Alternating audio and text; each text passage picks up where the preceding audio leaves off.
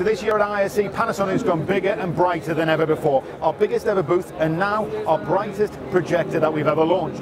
At this morning's press conference, the man I'm about to speak to announced that Panasonic for the first time will launch a projector that exceeds 20,000 lumens in brightness. That man is Hartmut Kulessa. Hartmut, tell us a little bit about the RZ31K. Yeah, what we would like to show you here is a new PT RZ31K and that is the Panasonic first 28,000 lumen projector and it combines the high brightness also with the new laser technology. So Panasonic we're really moving into new areas with this machine and that will definitely go well with production companies and live events and um, because there it eliminates the need for hot backup because you have the reliability of the laser light source and the redundant uh, technical concept inside the projector from Panasonic.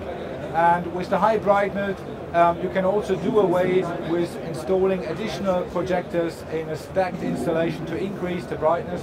So this will go very well in any kind of outdoor 3D mapping projections where you can operate then with less equipment and less cost for the end user. Okay, so tell us a little bit about the setup we've got here. You've obviously got a, an LED panel within the projection. That is a very special and unique thing, probably the first time that anybody shows that on a trade show.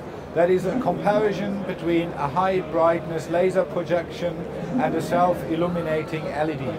So inside the projection area we have installed one LED tile with 1.9 millimeter pixel pitch and it clearly shows that with the new high brightness that we can get from the laser projector, we can cope with the brightness that comes from a self-illuminated LED.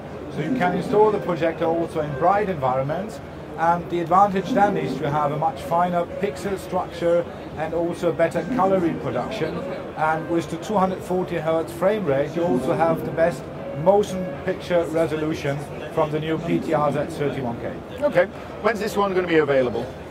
That is going to ship in this year, autumn, October time, when we are going to launch this to the market. Okay, thanks for your time, Hartmut. Uh, don't forget if you come into ISE this week to drop by the Panasonic booth. We're right in the middle of Hall 1 on stand H20. And don't forget to join us on Panasonic Live at ISE at 5 o'clock CET when we're going to be uh, introducing some digital signage with a real connectivity twist. That's next on Panasonic Live at ISE.